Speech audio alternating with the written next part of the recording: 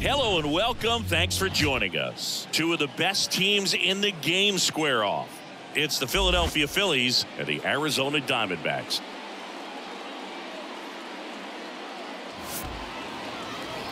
And now, your 2000 First pitch coming at you right after the break. Arizona Diamondbacks. Two outs, base is empty. Gerald the designated Hayden hitter. stands in now for the. Diamondbacks. And every at bat's a big one for him now as he looks to keep this amazing hitting streak going. That one ripped. That's back there.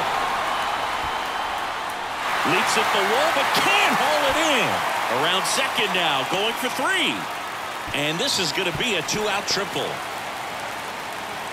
Well, that'll make you feel good as a hitter right there. That pitch came off the bat really well in the center field, and he clearly put a nice swing on it. And anytime you can get one to drop in out there, you know you stung it pretty good because it seems like center fielders these days, to a man, these guys can run down just about everything hit their way. Two outs with a man at third. Zack Gelof now at the plate. The second baseman. This is a hitter who takes his game to another level playing at night.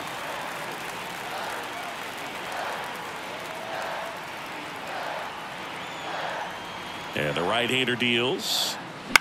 Popped up. Harper has a beat on it. Makes the catch inning over. One left for the Diamondbacks. Scoreless after one.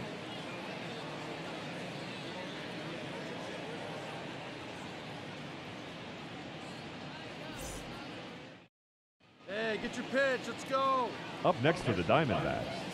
The designated hitter, Gerald Hayden.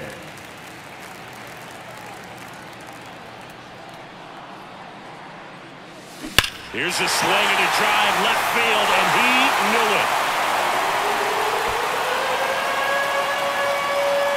His 68th homer of the year, and that gives him a lead. It's 1 nothing. He only needed one swing to square it up. Not wasting any time in that at bat, Boog. Aggressive, and it paid off.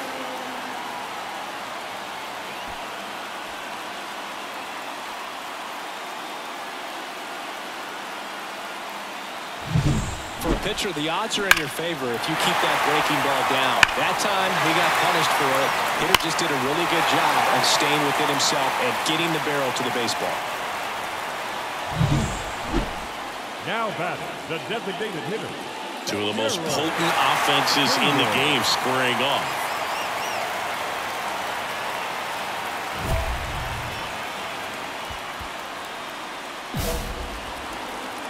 Intentional walk here with two out. They set up a force at any base to end the inning. These fans don't like to see that because they showed up to watch him swing the bat, but this team does not want to let him beat him. So first and second with two outs. To the batter now, Zack Gelof. Got him. That's the inning.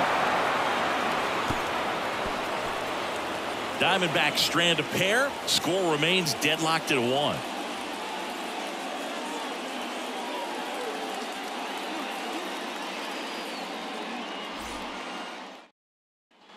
Next is the designated hitter, Gerald Hayden. He's already homered in this game. You talk about the power and the speed together.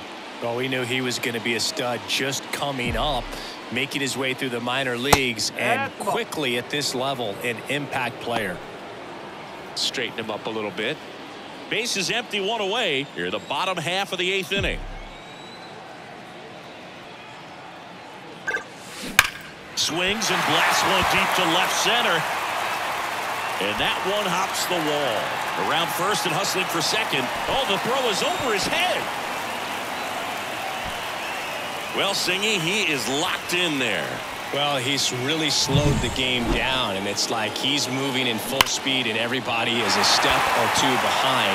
The way that he squared up that baseball tells me that he is seeing it like a beach ball.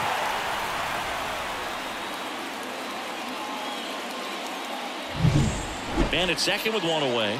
Next up for the Diamondbacks, Zack Gelof. The 0-1. And that'll fall for a base hit. Around third. He'll score easily. And they lead by two.